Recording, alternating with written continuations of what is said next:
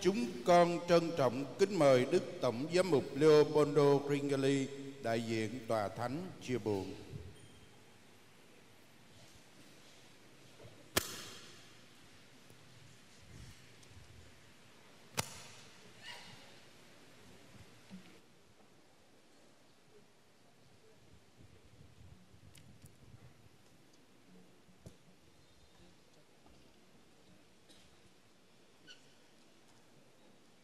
Kính, kính thưa Đức Hồng Khi, quý Đức Cha, anh em linh mục, eh, quý tu sĩ và anh chị em tâm mến. Two weeks ago, in Nha Trang, Bishop Joseph was among us to pray for the retired Bishop Paul Nguyen Van Hoa, who passed away. Hai tuần trước tại Nha Trang, Đức cha Giuse đã hiện diện cùng cầu nguyện với chúng ta trong lễ an táng của Đức cha Phaolô Nguyễn Văn Hòa.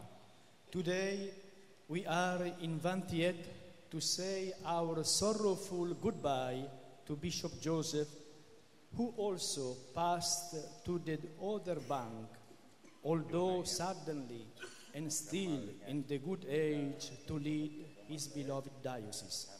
Hôm nay, chúng ta cùng hiện diện ở Phan Thiết để nói lời tạm biệt đau buồn với Đức cha Du Xe, người đã đi qua bến bờ bên kia đột ngột trong lúc còn đang độ tuổi rất tốt để dẫn dắt giáo phận yêu quý của mình.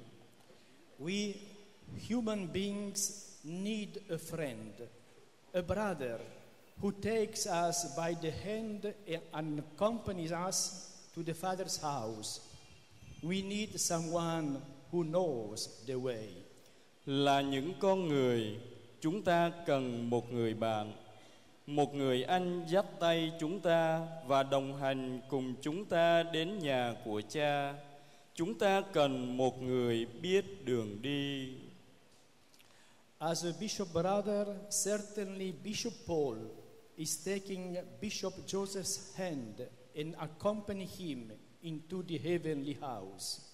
Như một người anh, chắc chắn Đức Cố Giám mục Phaolô Nguyễn Văn Hòa đang nắm lấy tay Đức cha Du Xe Vũ Duy Thống và cùng đi vào ngôi nhà trên trời. And uh, we can imagine both of them singing the praises of God as they loved to do, being good singers and musicians when they were with us.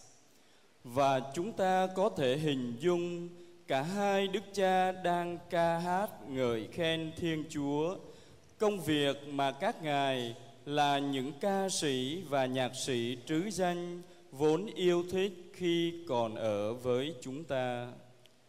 The psalmist makes us sing a psalm as a hymn to Jerusalem, asking us to imitate in spirit the pilgrims who go up to the holy city and after a long climb arrive full of joy at its gates.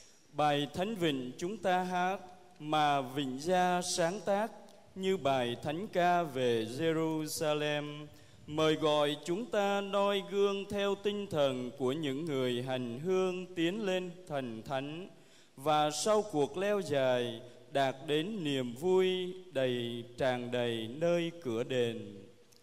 And the psalm says, I rejoice because they said to me, We will go up to the house of the Lord. And now we have set foot within your gates, O Jerusalem. Và lời Thánh Vịnh hát rằng Tôi vui mừng khi người ta nói với tôi Chúng ta sẽ tiến vào nhà Chúa. Hỡi Jerusalem Chân chúng tôi đang đứng nơi cửa thành rồi. Bishop Joseph is now going through the gates of the heaven Jerusalem, the Father's house, where there are also many places, in the sense that with God there is room for all.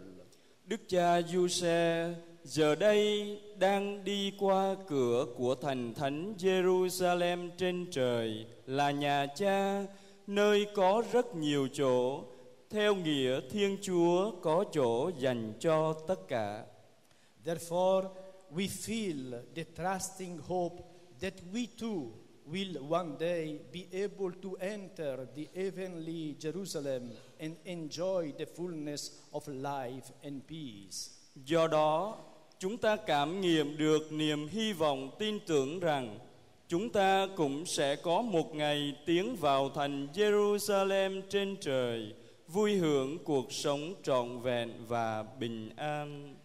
I wish to, to join the Holy Father Francis in expressing heartfelt condolences to the Diocese of Fantiet for the demise of their shepherd. Tôi muốn cùng với Đức Thánh Cha Francisco bày tỏ lời chia buồn chân thành đến giáo phận Phan Thiết vì sự ra đi của vị mục tử. And I convey my deep sympathy, especially to the priests and the seminarians, much loved by Bishop Joseph, as well as to his relatives. Cách đặc biệt, tôi chuyển đến các linh mục và các chúng sinh là những người Đức Cha Du Xe hằng yêu mến, cũng như đến với thân quyến của Đức Cha, tình cảm sâu sắc nhất của tôi. Bishop Joseph had a dream that his diocese be always united. His dream still remains as his legacy. And especially you, dear priests, make real your bishop's dream by being a cohesive clergy. Đức cha Giuse từng mơ ước giáo phận của Ngài được hiệp nhất. Ước mơ này là một di chúc của Ngài để lại. Đặc biệt, xin các linh mục hãy làm cho giấc mơ này trở thành hiện thực bằng cách sống đoàn kết trong linh mục đoàn. Certainly, Bishop Joseph is praying for you, dear priests, in the words of Jesus. Holy Father, protect them in your name that you have given me, so that they may be one as we are one. Chắc chắn Đức cha Giuse đang cầu nguyện cho quý cha với những lời của Chúa Giêsu lạy cha chỉ thánh xin gìn giữ các môn đệ trong danh cha mà cha đã ban cho con để họ nên một như chúng ta While we thank God for all the benefits that uh, He has bestowed upon Bishop Joseph, let us offer for him the merits of the passion and death of Christ, so that they may fill the gaps due to human frailty. Trong khi chúng ta tạ ơn Thiên Chúa vì tất cả những ân huệ mà Ngài đã ban xuống cho Đức Cha Giuse, chúng ta hãy dâng lên Chúa Cha những công nghiệp trong cuộc thương khó và tử nạn của Chúa Kitô để có thể lấp đầy những khoảng trống do sự yếu đuối của con người. Let us invoke the intercession of Our Lady of Tapao upon Bishop Joseph, who has preceded us in the last journey to eternal life. Chúng ta hãy khẩn xin Đức Mẹ Tà Pao cầu bầu cho Đức Cha Giuse là người đã đi trước chúng ta trong hành trình cuối cùng tiến về sự sống đời đời. Xin Chúa chung lan cho anh chị em.